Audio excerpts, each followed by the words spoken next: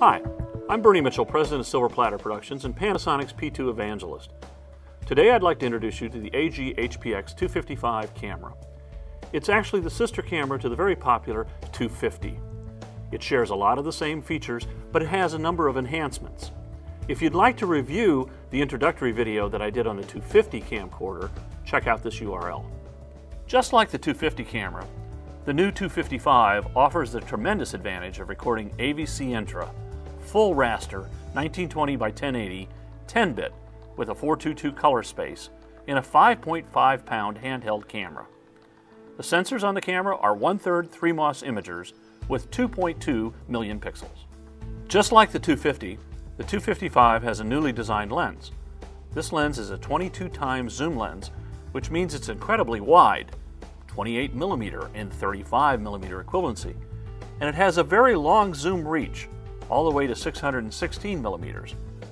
In addition, most shooters will appreciate the fact that this 22 times zoom lens has three manual rings right on the lens barrel. You have easy control over focus, zoom, and iris. These are features usually found on much more expensive cameras. At the back of the camera, you will find two P2 card slots. This means that you have very long record times because when the first card fills up, it automatically goes to the second card. And the cards are hot swappable. You can pull out the first card when you're recording on the second card, insert another card for even longer recording times. This camera records all the HD and SD frame rates and formats that you would expect. In addition, you can also record variable frame rates, which means that you can do slow motion and fast motion effects right in the camera. The 255 features a high-res color viewfinder, and in addition, all the connectivity that you expect, timecode, Genlock, HDMI, and 10-bit HD SDI. But now let's take a look at some of the features that differentiate the 255 from the 250 camera. At the back of the 255 is a new terminal jack. This allows you to connect the AG EC4 Paintbox remote controller. This means with the EC4 controller that the 255 camera can serve as a cost-effective camera in multi-camera shoots or as a low-cost studio camera. This optional remote control unit has the ability to control virtually all menu setups and gamma functions that can be accessed directly through the camcorder's onboard menu, including shutter, iris, gain, filter positions, and detail.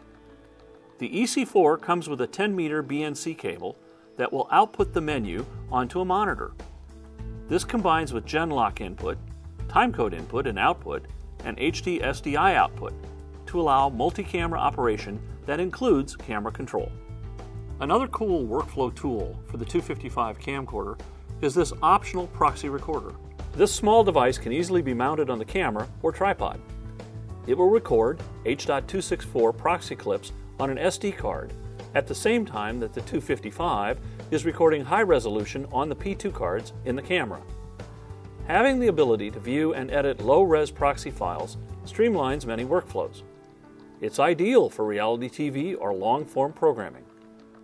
The unit also comes with a wireless transmitter that allows you to view the proxy material on a remote computer, tablet, or smartphone. You can also view and modify the metadata on both the proxy and P2 files.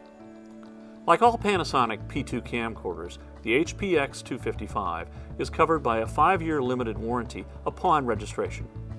All you need to do is register your HPX 255 with the Panasonic Pass system to get this extended warranty. By registering, you will ensure that you get emails from Panasonic whenever there is an upgrade to your camera's firmware. With the 255, we built on the success of the 250 by increasing its capabilities to include studio configuration, proxy recording, and wireless metadata input.